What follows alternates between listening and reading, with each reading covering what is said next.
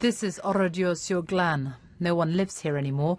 The village has been left untouched since June 1944, when it became the site of one of the worst Nazi massacres of French civilians during the Second World War. 642 people died that day. 247 of them were children. The men were rounded up and shot in barns. The women and children were herded into the local church, locked in, and gassed before the building was set on fire. Only six people survived the slaughter.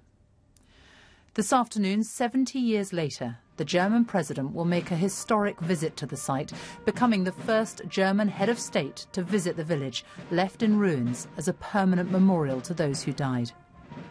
He will be accompanied by the French president and two of the three living survivors.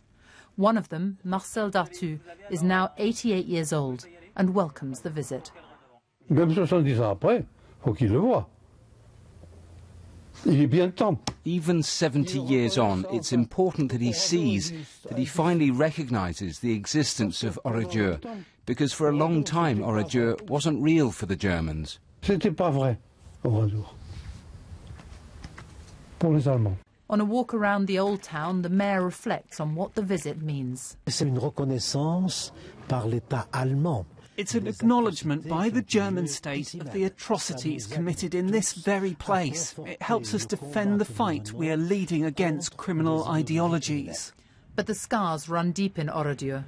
For others old enough to remember, the German president's pilgrimage will do nothing to assuage the horror of what happened that day.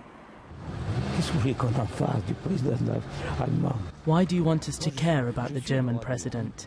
I'm from Oradour, the old town. It leaves me cold, sends shivers down my spine.